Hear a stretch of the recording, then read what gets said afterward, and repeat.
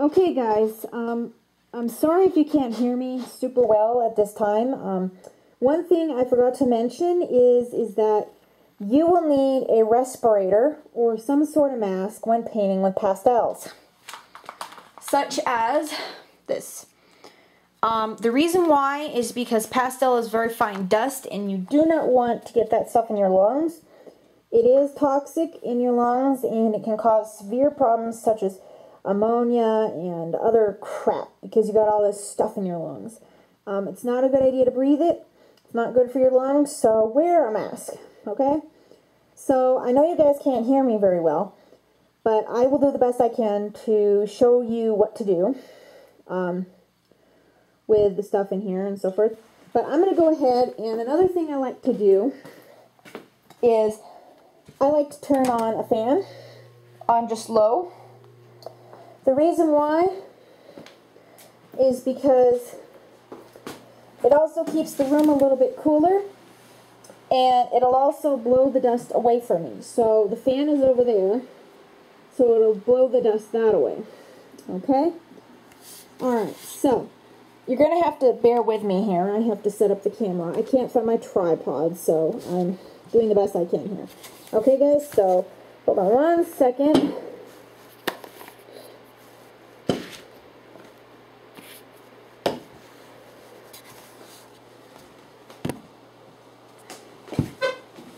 Okay.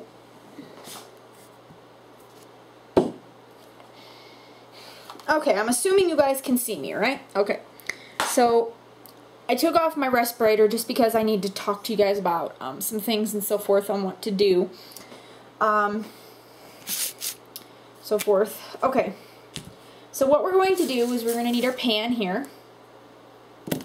And I always like to start with the darker areas of a blue roan.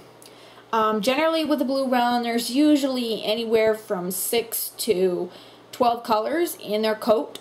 And really, they're not blue. They are more on the gray side than anything. Um, and the main colors that I like to do, because a lot of blue roans actually, their legs are darker legs. And then usually all the way down their face, this whole area here will usually be uh, black, very black. Um, but it does depend on the horse. Of course, if the horse is actually graying out more, which some blue roans will, they will gray out extremely dark or extremely light. So it goes either way. So what you're going to do is you're going to take your black pastel stick, take your scissors and gently take the pastel dust and rub the scissors on the pastel stick to get a fine powder.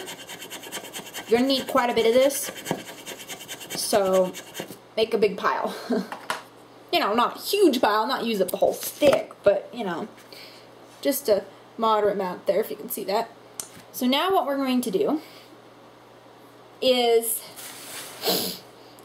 we are going to hold our model either by the tail, which I can with this horse, or by a back leg, okay? Um, you can hold them on the front leg, uh, but I like to hold my horses on the tail. Now, the reason why I'm not wearing a glove like I usually do is because I've had a problem lately with being allergic a little bit to latex. Um, usually I'm not allergic to latex, but for some reason, uh, lately I've been allergic to it, and I think it might be from, um, you know, allergies and pollen. I think it's just kind of associated with that more than anything. Um, but usually it doesn't bother me, so I don't know what's up, but whatever. Um, okay, so you're going to need your brush, like this one here. Um, you can also use Q-tips. I don't have any at this time, so I'm going to rely mostly on my brushes here. Um, I also have a brush like this, which is uh, pretty, a little bit harder and shorter. And what you do is you dab your brush in the pastels. And I'm going to start with his little face here. And we're going to start rubbing on the pastels.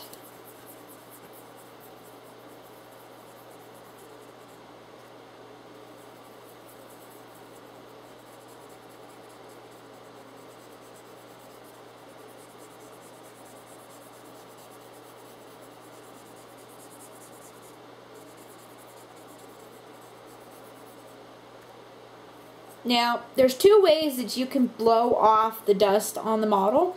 You can either use a compressor. Oh, there goes the phone. Uh, you can use a compressor. Why does it always ring once? That's weird. Um, you can use a compressor to blow off the dust. Or you can use a soft brush to uh, take the dust off. But lately I've been using the compressor because it's a little bit easier for me to do so. And it doesn't take a lot of the, the dust away as what I, you know, what I want. But um, it does work very well. And it also prevents streaking from a brush and uh, so forth. So.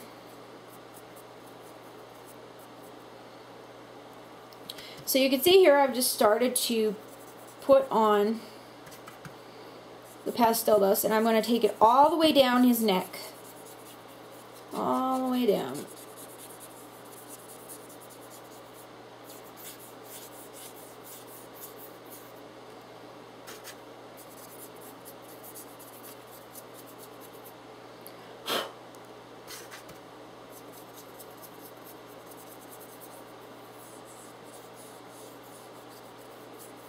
Just like this.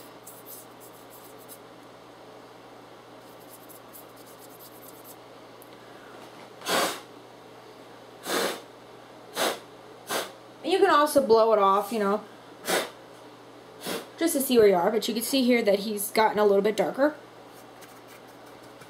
Now I'm going to go ahead and do his legs.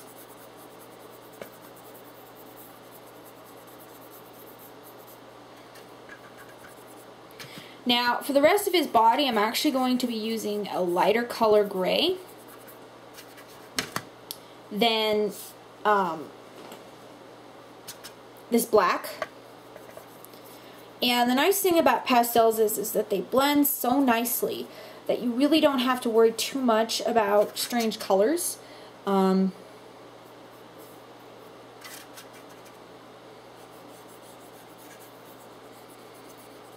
and so forth. So.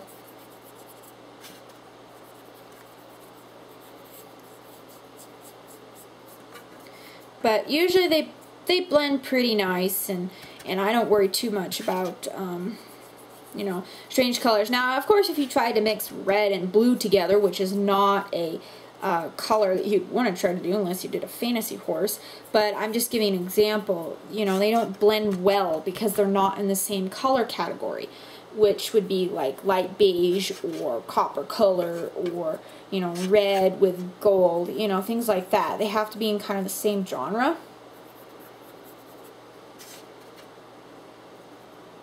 But gray is a very easy color to work with because it's so forgiving for the most part. Now, of course, if you haven't... Oh my gosh, what is up with the phone today? I don't know. Um,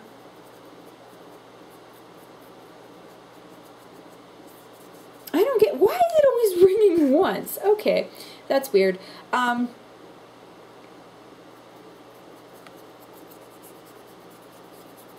so, yeah, but you can see here I'm starting just to put the black on his legs. Now, the area where the black is is going to be the darkest points, the horse. The rest of it is more going to be kind of a light gray copper color, or more of a, not really copper, um, more, what would be a color?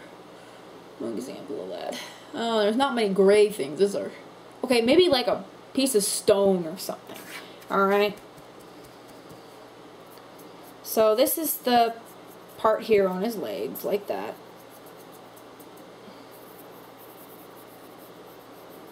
Okay.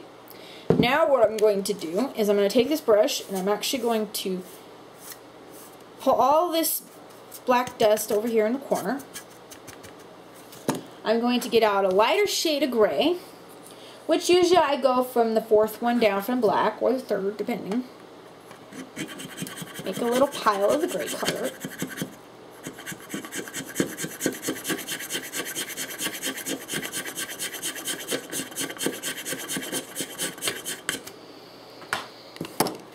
Take my big fat brush dip it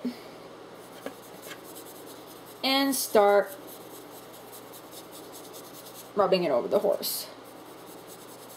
Now remember, you want to try to go with the growth of the hair, okay? Um, you know, such like this. So the growth of the hair would be going down here, you know, down the shoulders, under the belly.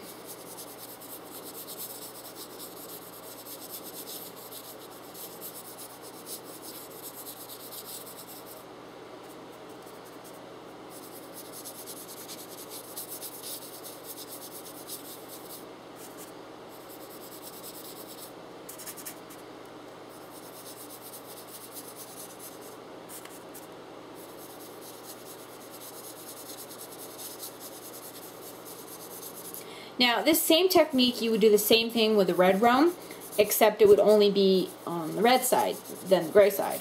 Um, so it'd be the same technique, just different colors. You know, the, the brown would be the darkest points of the horse um, on the legs and face.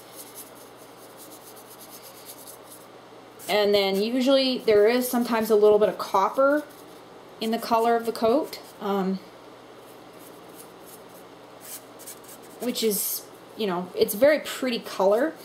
Um, I've actually seen quite a few very pretty red roans lately for sale, which I'm surprised at because usually most people really like the red roans and they usually sell pretty quickly. But for some reason these guys haven't gone yet. So I think it probably has to do with their training.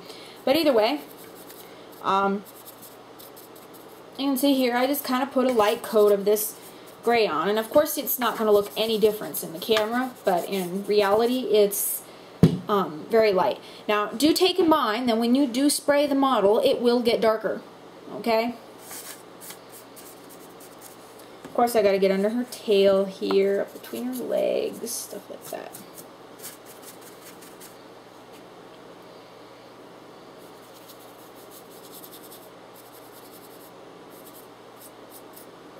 Okay. So I think I'm good. So what I'm going to do now is I'm going to turn off the camera, spray her off with the air, go outside, matte finish her, and continue on. Okay?